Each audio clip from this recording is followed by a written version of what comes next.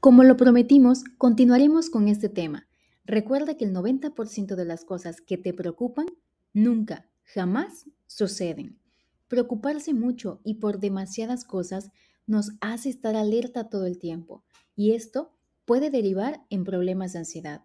Aunque por otro lado, no preocuparnos por nada puede acabar en depresión. Además, no todo está en nuestras manos, pero recuerda que lo que sí podemos hacer es controlar cómo comportarnos ante estas dificultades. Así que la clave es responder ante cada preocupación, pero con la medida justa. Es obvio que la cantidad de información que recibimos hoy día ayuda a incrementar las preocupaciones.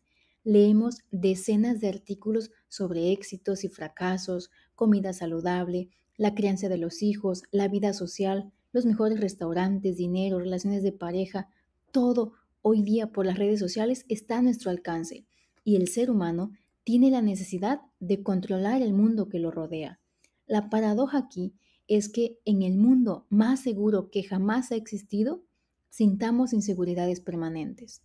Existe algo a lo que llamamos miedo líquido. Este es producido por conceptos que no son tangibles y que se pueden escapar a nuestro entendimiento, situaciones externas que no podemos controlar y ahí no podemos estructurar la manera de responder y eso es aún peor. Cuando no nos inventamos las amenazas, otros las hacen por nosotros.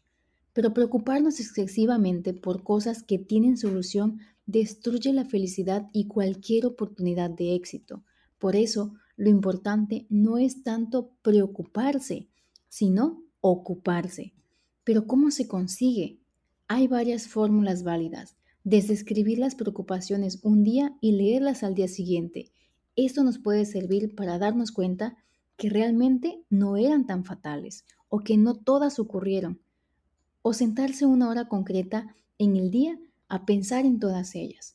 A muchas personas les resulta más fácil olvidarse de una preocupación si se han otorgado un momento y un lugar específico para poder reflexionar sobre este tema.